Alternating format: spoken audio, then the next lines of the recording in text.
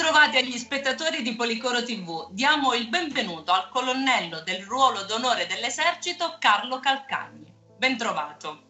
Buongiorno, benvenuti a voi e ai vostri telespettatori nella mia casa. Carlo ha da poco conseguito una laurea magistrale. C'è un altro obiettivo altrettanto importante che vuole raggiungere legato ad una Paraolimpiade e per questo ha lanciato una petizione. Di cosa si tratta? Premesso che la petizione non l'ho lanciata io, ma l'hanno lanciata i miei sostenitori e come tu ben sai e tutti coloro che mi seguono, siete veramente tanti. Siete tanti che mi volete bene, siete tanti che mi amate, siete tanti che trovate addirittura in me la forza di affrontare le vostre difficoltà. E non diciamo, non parliamo di difficoltà più grandi, più piccole, perché difficoltà sono difficoltà, sono problemi a qualsiasi livello. Per cui hanno attivato questa petizione vedendo che il sottoscritto è sempre escluso, il sottoscritto continua a non avere risposte anche a quel mio perché che conclude eh, il film, il docufilm che Michelangelo Gratton per Ability Channel ha realizzato sulla mia storia eh, già due anni fa, eh, a maggio del 2018, subito dopo la prima, eh, ho avuto la fortuna di avere in sala personaggi dello spettacolo, tra cui Bruno Vespa, Piero Angela e ovviamente Bruno Vespa, dopo aver visto in questo documentario che racconta anche il mio dietro le quinte, quello che normalmente non faccio vedere, perché preferisco far vedere il sorriso, far vedere i miei successi, far vedere che la vita è sempre bella, comunque, in ogni condizione, proprio perché il film vuole essere non una storia di malattia, ma soprattutto un messaggio di vita vuole proprio attraverso la malattia poter dimostrare che la vita è degna di essere vissuta sempre e comunque, in ogni condizione. Per Perché cui, è stato necessario lanciare questa petizione? Eh, perché io, dopo una squalifica assolutamente ingiusta, che ho scontato fino all'ultimo giorno, non ho avuto neanche la riduzione di, di, un giorno che avevo chiesto per disputare i campionati italiani, che erano stati programmati, mi riferisco a quelli del 2019, proprio due giorni prima del termine della mia squalifica, di quattro anni, il massimo della pena, e dopo essere stato prima, nel primo procedimento, nel primo processo della giustizia sportiva, che è importante dirlo, funziona in modo totalmente opposto a quello che è la giustizia ordinaria, in quanto c'è la presunzione di colpevolezza, quindi è sufficiente che qualcuno ti accusi di aver fatto qualcosa di illecito o contro le, le regole per essere sottoposto a procedimento.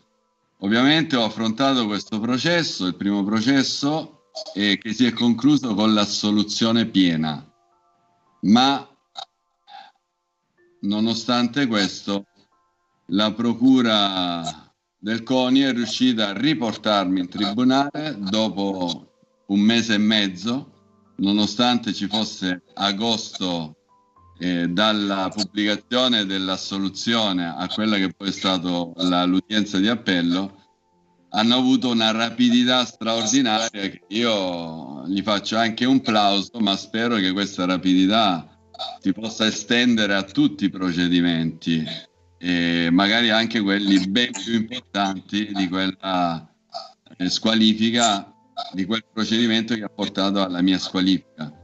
Squalifica che nonostante il dubbio ha avuto il massimo della pena e proprio perché non ho fatto un'ammissione di colpa, perché non potevo ammettere ovviamente una cosa che non avevo fatto, e non mi è stata nemmeno ridotta ai due anni perché mi bastava eh, confermare l'accusa della procura eh, per avere immediatamente dimezzata la pena a due anni. Ma non posso ammettere ciò che non ho fatto. Io ho rispettato le regole, avevo l'autorizzazione preventiva all'uso dei farmaci che io sono costretto ad assumere quotidianamente per sopravvivere, farmaci che sono certificati come farmaci salvavita e che non possono essere sospesi, ma io ho fatto anche quello per mostrarne la necessità, andando poi a finire al pronto soccorso per scompenso cardiaco e blocco renale.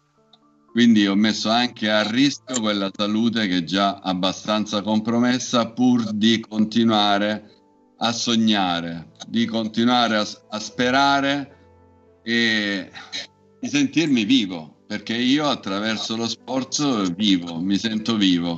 È proprio quello che mi permette, nonostante mille difficoltà quotidiane, nonostante una malattia devastante che da 18 anni ha stravolto la mia vita, ma come spesso scrivo, sì, mi ha stravolto, mi ha distrutto, ma non mi ha sconfitto, perché ho ancora quella forza interiore, quella forza mentale che mi permette di puntare degli obiettivi come quello della laurea, che è un risultato importante tirato fuori anche da una situazione difficile di malattia. Quindi tirar fuori qualcosa di buono dal negativo perché c'è sempre qualcosa di buono e il bene deve sempre trionfare sul male.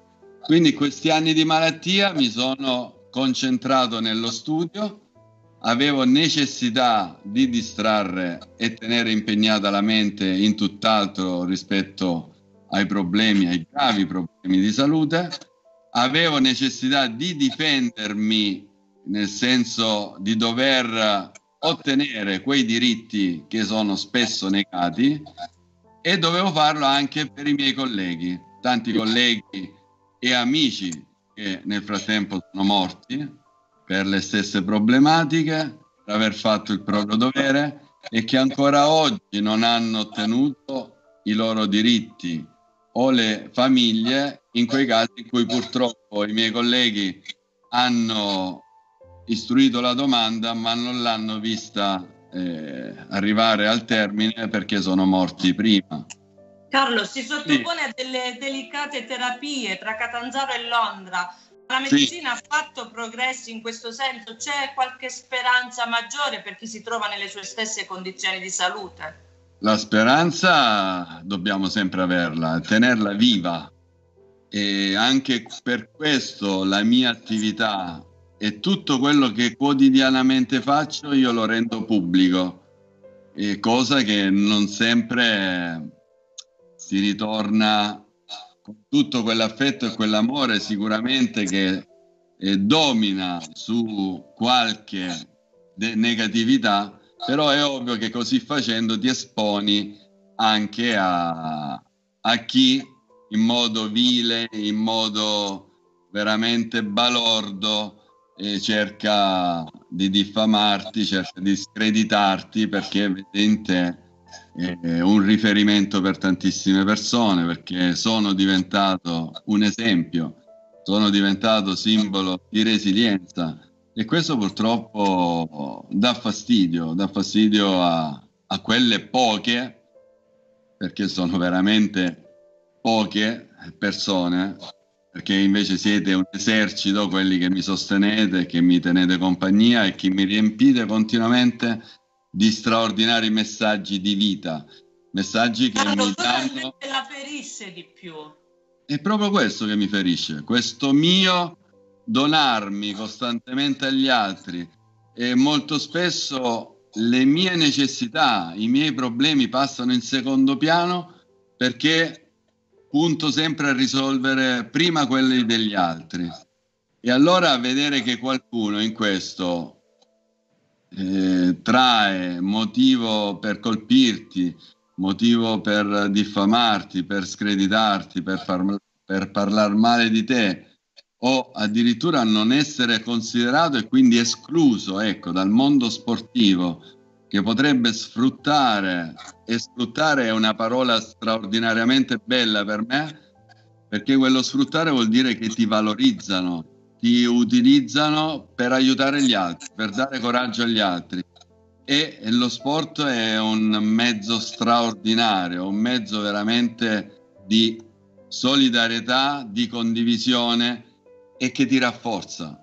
Io se non fosse per lo sport non sarei vivo, lo dicono i medici, perché contro una clinica, documentazione medica che dice tutt'altro, che conferma una condizione gravissima per la quale non dovrei nemmeno essere vivo o sicuramente non dovrei essere in piedi e così attivo. Quindi questo è la dimostrazione senza dubbio che c'è, un, c'è qualcuno al di sopra di noi, al di sopra di tutto, eh, che veramente decide la, nostra sorte, ma è la dimostrazione di quanto l'aver investito sin da piccolo, io oggi ho 52 anni, posso dire che ho quasi 50 anni di attività sportiva, sempre ad altissimi livelli, il mio fisico si è temprato, è diventato così resistente da poter sopportare tutto. E ancora di più si è rafforzata la mente. A chi e... sente invece Carlo di dover dire grazie in tutti questi anni? Di sicuro anche ai medici guarda, che la seguono eh, quotidianamente. Guarda, io quasi quasi ti leggo qualche parola della te- dei ringraziamenti inseriti nella tesi. Una tesi... ricordare in cosa si è laureato? Io mi sono laureato in scienze giuridiche di diritto internazionale con la specialistica in gestione delle risorse umane. E questa, questa tesi che mi ha è valsa un 110 con lode è, è veramente un documento importante perché racchiude ricerche scientifiche e il titolo e sindrome dei Balcani, gli aspetti legali dalla contaminazione al riconoscimento giuridico. È un documento importante che può aiutare tantissimi colleghi che non hanno ancora ottenuto i propri diritti perché ci sono ricerche scientifiche, ci sono documenti, ci sono quindi fatti realmente accaduti, dimostrazione di quello che è eh, la, eh, l'ostruzionismo della burocrazia, quella burocrazia che diventa ancora più pesante della malattia e che uccide talvolta più della stessa malattia.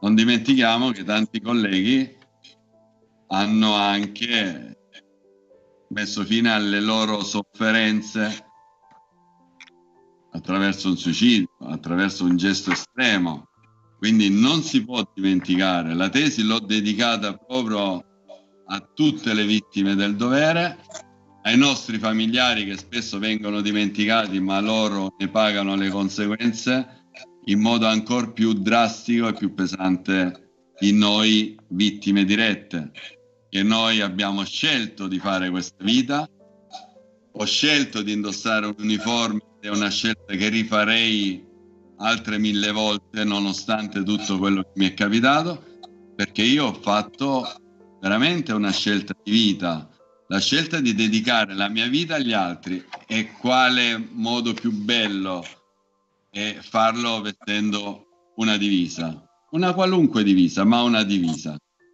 Quindi nei ringraziamenti ovviamente ho voluto anche ringraziare prima fra tutti i miei figli la vera luce dei miei occhi, Francesca, quindicenne, e Andrea, che a novembre compirà 12 anni. I miei ma familiari, quelli che mi sono stati accanto. Che vuole trasmettere? Come? Guardando negli occhi i suoi figli, ai suoi figli come alle future generazioni, che messaggio si sente di voler rivolgere? È quello che dico ogni volta che vado nelle scuole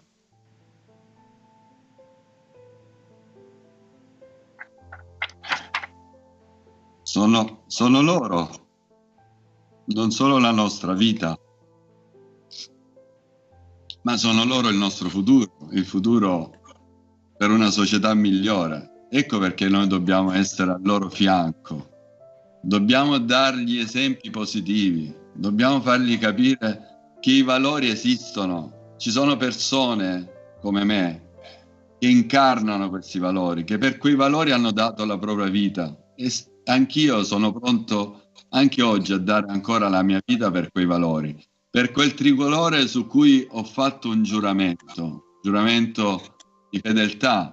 E molti ragazzi nelle scuole mi chiedono come io possa ancora vestire un uniforme con tutto quello che mi è successo.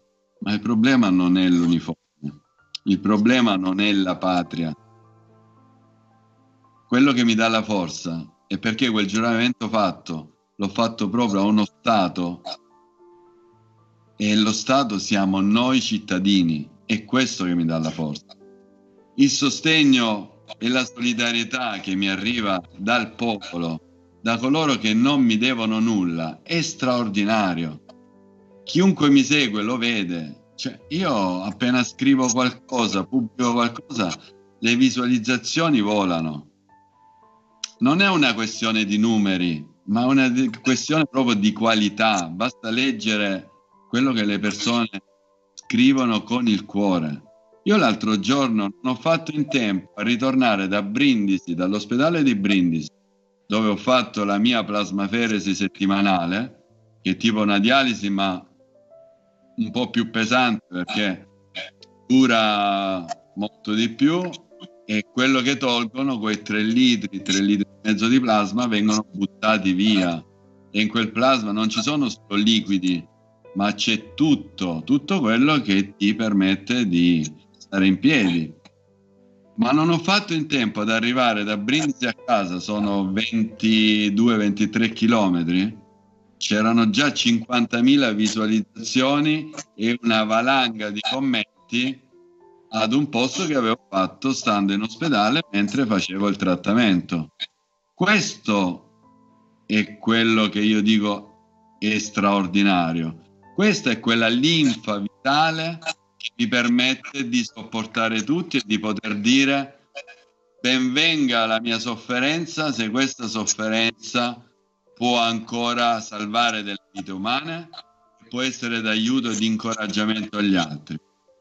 Carlo, sicuramente i verdetti della giustizia vanno sempre rispettati, però lei a gran voce cosa chiede ancora relativamente a quella che è la tutela dei suoi diritti? Sì, ti completo i ringraziamenti perché tra i ringraziamenti ho inserito anche coloro che mi hanno ostacolato in questi anni. Li devo assolutamente ringraziare perché se io oggi sono l'uomo simbolo di resilienza così forte soprattutto mentalmente, perché il fisico lo, l'ho costruito in tantissimi anni di sacrifici, lo devo anche a loro. Perché se io avessi avuto una vita di comfort o se non avessi avuto tutti questi ostacoli e difficoltà, non sarei diventato così forte. Quello che chiedo oggi è il rispetto. Il rispetto per me e per tutti quelli come me, per quelli che hanno fatto il proprio dovere e forse l'unica colpa che abbiamo è proprio questa, aver fatto il nostro dovere in un contesto in cui purtroppo abbiamo subito dei danni permanenti o altri hanno perso la vita. Quindi noi vorremmo essere rispettati per quello che siamo, ma vogliamo essere rispettati dalle istituzioni perché il popolo ci rispetta. Questa è la cosa incredibile e che fa tremendamente male, perché proprio chi avrebbe il dovere istituzionale, morale, di trattarci con i guanti bianchi, perché quando la vita diventa fragile deve essere trattata con i guanti bianchi, questo fa male, perché poi vedi intorno a te un calore umano, una riconoscenza da persone che non ti devono nulla, perché io e i miei colleghi abbiamo soltanto fatto il nostro dovere. Questo fa male. Non vogliamo altro. Non vogliamo, non sono i soldi i risarcimenti che contano. Basta pensare che io, quando sono stato convocato Roma dal capo di Stato Maggiore uscente Graziano, generale Graziano, che mi ha voluto conoscere dopo l'uscita del docufilm Io sono il colonnello, parlando del risarcimento che io dopo 18 anni di malattia ancora non ho avuto, gli ho detto quello che fa male non è il risarcimento, è che c'è stata indifferenza, perché io avrei accettato anche un euro simbolico. E la stessa cosa ho detto al ministro Trenta, l'ex ministro della difesa, che mi ha nominato suo consulente al tavolo tecnico che ha iniziato i lavori a febbraio 2019 proprio sull'uranio impoverito. E il ministro Trenta ha voluto me come garante dei diritti dei militari, delle vittime, a quel tavolo, a quel tavolo di lavoro proprio sulla problematica dell'uranio impoverito. Poi purtroppo i lavori non si sono conclusi, o meglio, noi il lavoro l'avevamo completato, ma non si è concluso l'iter applicativo perché poi il ministro purtroppo ha, suo, ha dovuto lasciare il suo incarico per un cambio di gestione e eh, adesso speriamo che il nuovo ministro almeno continui o riprenda un lavoro che avevamo fatto veramente applicando tutto ciò che era necessario per risolvere una problematica dei militari che hanno contratto questo tipo di infermità, onde evitare anche il contenzioso affinché questi problemi vengano riconosciuti d'ufficio e non essere costretti a lottare anni, anni, anni, anni di legali, di cause e non vedere neanche magari in molti casi chiudere questi procedimenti perché tanti ci lasciano prima, prima del tempo e questo fatale. A chi come me invece resta, continua questa battaglia anche per un dovere morale nei confronti di chi non c'è più. Io la ringrazio Carlo, lei ha avuto modo sicuramente di esporre tutte le sue ragioni la giustizia o chi di competenza farà il suo corso nelle sedi opportune, è giusto però anche dare voce a quelle che sono... Almeno rispondere al perché. Il film, dicevo, conclude con un mio perché, perché tutto questo, perché questa esclusione, perché non mi risponde mai nessuno. Dopo due anni io ancora aspetto delle risposte. E questa è l'assurdità. Io ho finito, ripeto, la squalifica l'ho fatta tutta fino all'ultimo secondo, quattro lunghissimi anni, in cui ho continuato a crederci, in cui ho continuato ad allenarmi puntando alle Paralimpiadi di Tokyo, perché so che potenzialmente le posso vincere, ma non è la vittoria sul podio che è importante, perché noi possiamo vincere anche senza salire su un podio io vinco ogni mattina quando mi alzo e rivedo la luce del sole. Quindi vogliamo un perché. Da un anno e mezzo quasi che io sono nelle condizioni di tornare a svolgere attività, ancora non ottengo risposte. Io non posso andare a disputare a ottobre, ci sono delle gare di Coppa Europa in Austria, non posso andare, non voglio andare perché non sono in regola da un anno e mezzo ancora non mi hanno dato l'autorizzazione preventiva all'uso dei farmaci. Questo è. Perché un'autorizzazione preventiva che mi è sempre stata concessa, adesso non mi rispondono, non mi danno l'autorizzazione. E tu, che ovviamente vuoi essere in regola, che vuoi essere onesto e, e giocare non sporco, a gio- giocare rispettando tutte le regole, non vado a gareggiare se non ho questa autorizzazione preventiva. È una mia scelta, ma perché è così. Lo sport è soprattutto lealtà.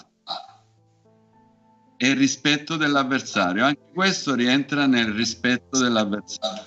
Questo. È giusto dare voce a chi pone degli interrogativi, noi la ringraziamo, le facciamo un grosso in bocca al lupo per le Paralimpiadi, ma per tutto quello che riguarda la sua vita. Grazie. Grazie, Grazie Carlo per essere stato con noi. Grazie per essere entrati nella mia casa e avermi fatto compagnia. Grazie mille, io saluto anche gli spettatori di Policoro TV ai quali do appuntamento con la prossima intervista, ma cosa mi vuole dire ancora? Mai arrenderti. Assolutamente, mai, mai, mai, mai. Grazie per il suo esempio, grazie davvero. Arrivederci Carlo. Grazie.